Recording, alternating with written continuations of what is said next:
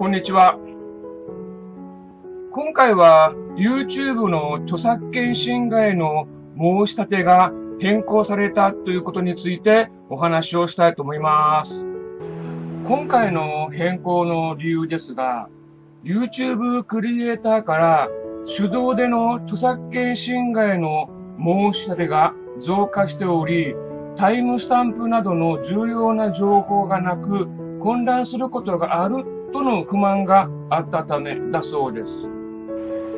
では、変更点についてお話をしたいと思います。えー、まず1番、手動での申し立ては、侵害箇所のタイムスタンプを停止することが必要となります。えー、このタイプタイムスタンプっていうのは、えー、動画の投稿者にも伝えられるため、え投稿者は、えどの部分を編集すればいいのか、分かりやすくなるということなんですが、えどの部分を編集っていうのがね、あの、著作権を侵害してますよという、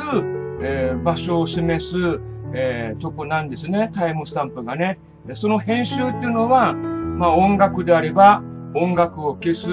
または、えー、著作権フリーなどの音楽に入れ替える。そして映像の場合には、その、その部分をね、カットする。トリミングするということになります。このトリミングについては、えー、今後ね、YouTube スタジオにオプションとして、えー、トリミングの機能が追加されるそうです。変更点の2番目です。YouTube はタイムスタンプの正確さをチェックし、申し立て人が正確なデータの提出に何度も失敗した場合は、申し立てが取り消されるということになりますので、えくれぐれもね、え正確にタイムスタンプをね、え記入してください。今後の予定として、え YouTube スタジオの著作権情報ページに動画のトリミングオプションを組み込むなどの、え機能を予定しているようです。この変更は第一歩であり、クリエイターの利便性を改善しつつ、著作権保有者の権利とのバランスを取る新たな方法に取り組み続けていくということをね、YouTube がアナウンスしています。